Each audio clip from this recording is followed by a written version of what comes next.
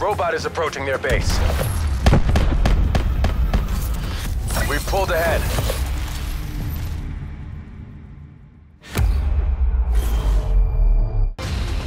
Tightened by the numbers, just how we drilled it.